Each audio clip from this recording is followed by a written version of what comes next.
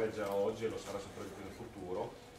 per cui vorremmo capire, quindi anche questo forum diciamo, europeo dei giovani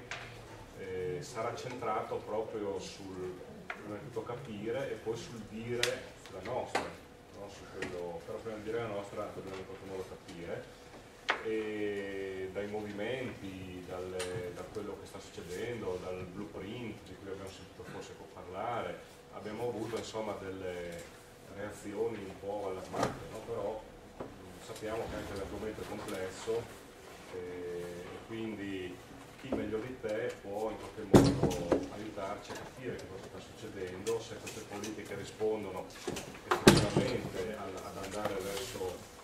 il diritto all'acqua, all'applicazione del diritto all'acqua, ad andare verso proprio la gestione di un bene comune, eppure come dai, da, da, quello che insomma dai toni un po' allarmati che abbiamo sentito, invece si va verso una direzione di acqua bene economico, però eh, vorremmo in qualche modo capire questo, ecco, cosa sta succedendo a questo livello, quindi ti lasciamo la parola su questo. Bene, non a me, a lui, eh, a me forse dopo, eh, ma non subito, non subito. Buongiorno a tutte e tutti, chiedo scusa per il ritardo, ma, è, ma le indicazioni stradali non sono state... No, no, le tue erano buonissime, eh, solo poi i pannelli non rispondono mai, non corrispondono mai a quanto è detto. Eh, allora, eh, effettivamente eh, posso subito rispondere alla prima domanda fondamentale. La politica europea dell'acqua sta andando verso una concretizzazione,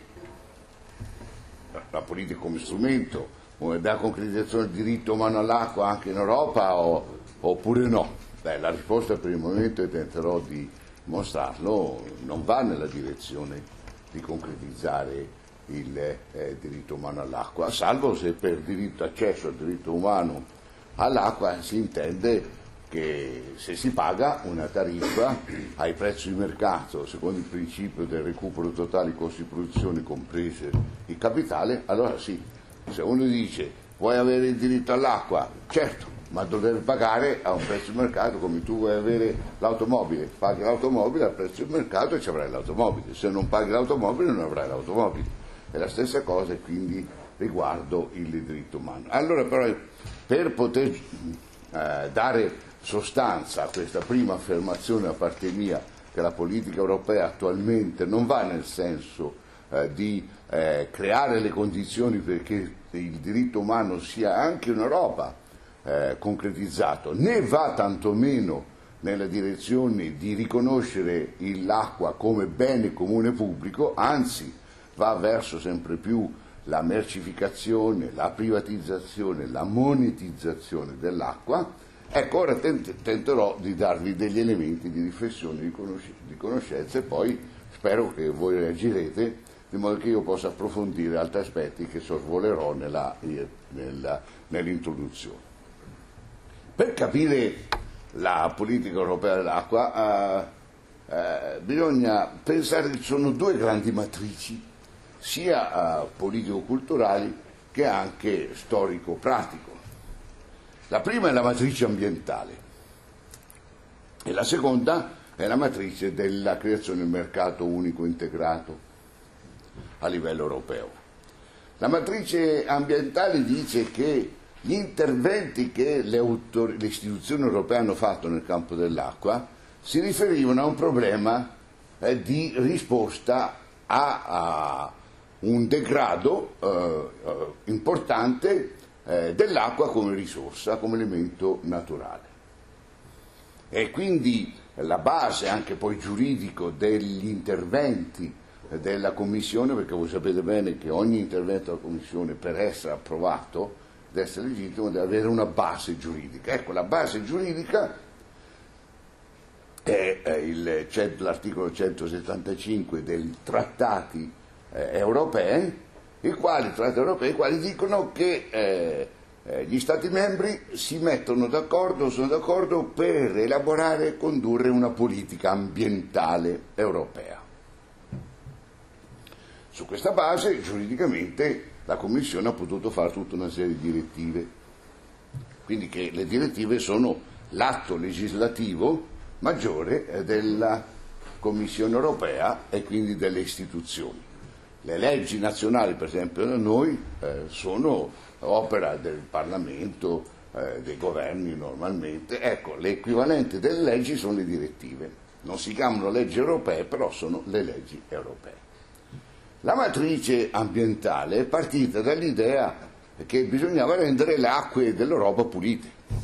In effetti, a partire dagli anni 70, eh, eh, tutti quanti cominciavano a dire ma qui le nostre acque sono contaminate, sono inquinate, i fiumi non sono più buoni, i laghi non ci si può più bagnare eh,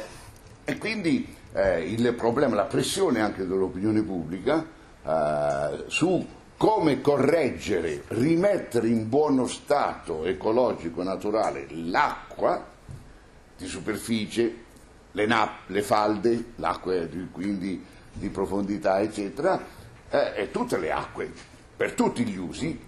è all'origine eh, dell'intervento eh, dell'Unione Europea in materia dell'acqua. Rendere l'acqua pulita, se diciamo eh, tradurlo un pochino in, in uno slogan. Ed ecco perché a partire dagli anni 70, 75, 78, la Commissione sforna, e il Consiglio dei Ministri del Parlamento Europeo, sforna tutta una serie di direttive direttive sui nitrati, direttive sul trattamento delle acque reflue, eh, direttive sui prodotti farmaceutici, eccetera, eccetera. Quindi eh, tenta attraverso queste varie direttive settoriali di attaccare i problemi dell'inquinamento, come pulire l'acqua. E eh, la cosa principale fu quella sui nitrati e sui prodotti industriali, perché l'agricoltura, eh, voi sapete, è uno dei principali eh, fattori eh, di inquinamento e di di contaminazione, perché quando utilizziamo l'agricoltura ad alta intensità chimica potete immaginare eh, che eh, le conseguenze sull'acqua con i prodotti ad alta tossicità, che è un'intensità chimica di sintesi, non un'attività chimica naturale, eh, fa, eh, fa, sì che effettivamente bisognava portare sui nitrati e su tutti gli altri inquinanti di origine agricola e di origine industriale. Ed è così che pian piano si arriva al 2000 dove eh, la Commissione fa una direttiva quadro, mette tutti insieme queste varie direttive, per cui si può dire che la direttiva europea del 2000 che istituisce un quadro di regolazione della gestione dell'acqua in Europa, questo è il titolo della direttiva, eh, è la grande legge, prima grande legge eh, europea sul tema dell'acqua. Nel frattempo, cosa è successo? Sempre eh, rispetto alla, alla questione dell'ambiente, nel frattempo, nel 92, a livello di Rio de Janeiro, del primo vertice mondiale della Terra, eh, I paesi europei soprattutto, influenzando la Banca Mondiale,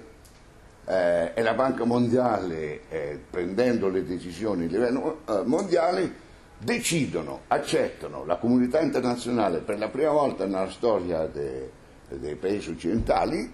eh, accettano di affermare che l'acqua non, è, non deve essere più considerata un bene sociale, un bene della natura, o, e altre cose simili, però deve essere essenzialmente considerato un bene economico. Ora dovete immaginare che la nozione di bene economico in un'economia e società che è fondata sui principi dell'economia capitalista di mercato dice che il concetto di economico usato da queste definizioni è relativo ai principi e meccanismi dell'economia capitalista di mercato. Ed è lì che, questo si chiama il quarto principio di Dublino,